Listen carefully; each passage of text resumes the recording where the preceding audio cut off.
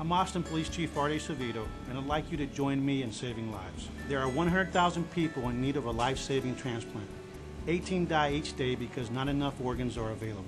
We can change that. Register to Donate Life online or when you go to DPS to get your driver's license. Your decision to donate can save up to eight lives. If you or a member of your family were in need of a transplant, wouldn't you want the gift of life?